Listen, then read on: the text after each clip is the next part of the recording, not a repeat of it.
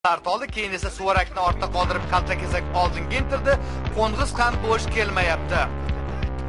Biroq aynan marra oldida to'xtab qoldi va chiziqdan sakrab o'tdi.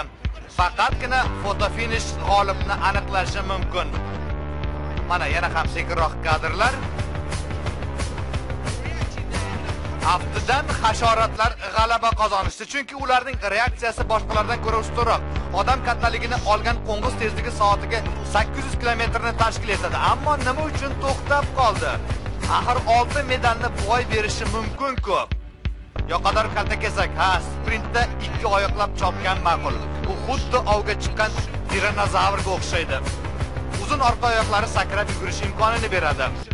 U osonlik bilan suvarakni ortda qoldirmoqda ammo qo'ng'iz shunchalik tez yugurdiki uning aniq tasvirini olishga texnika ham ojizlik qildi. Keyin esa birdaniga yugurish yo'nalishini aniqlash uchun to'xtadi. Xo'sh so'nggi sakrash uni g'olibga aylantirdimi? Hakamlar nima deyisharkan? Hozircha boshqalar qanday turganini kuzatamiz. Gavdalari tenglashtirilgan jonivorlar ichida qoplon ortda qolmoqda. Ammo uning gavda tuzilishiga e'tibor bering. Ana endi bu ovchining shuhrati boisini tushungan bo'lsangiz kerak. O'ta uzun oyoqlar. Har 4 sekundda 8 metrgacha sakraydi. Umurtqa pog'onasi esa yugurish paytida gavda muvozanatini saqlashga yordam beradi. Tirnoqlari esa yerga tayanishni kuchaytiradi. Keling yo'lakka qaytaylik. Yo'l yo'l baliq endigina marraga yetib keldi. Avvalroq uning imkoniyatlari bizga qorong'i edi. Ammo intilishga gap yo'q. Marraga qadar bu baliq deyarli bir daqiqa vaqt sarfladi. Endi esa qadrli sport muxlislari fotofinish ma'lumotlarini tahlil qilamiz.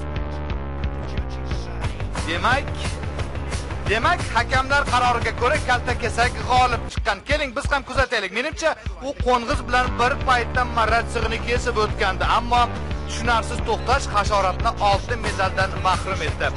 Demak 100 metrga yugurish bahslarida reptiliya va amfibiya jamoasi oltin medal sohibi. Yoqador kaltakesak masofani 0.183 sekundda bosib o'tdi. Ikkinchi o'rinda qo'ng'iz suvarak esa bronza egasi.